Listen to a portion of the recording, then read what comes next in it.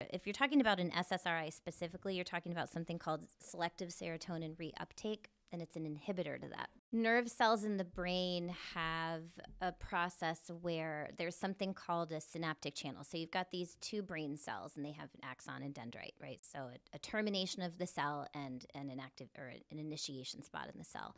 And you've got a river that flows through it. And so all of these neurotransmitters are flowing through that river.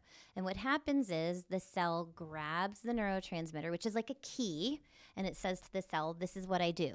And what happens is that SSRI it doesn't block that the serotonin It's an uptake inhibitor, It- so it, it- blocks it- the uptake it of. prevents basically the absorption and like pushing it back out into the channel. So neurotransmitters essentially for a period of time don't exist in the synaptic channel. They're basically absorbed into the cell and then pushed back out. Okay, It's like ingestion and then right. digestion.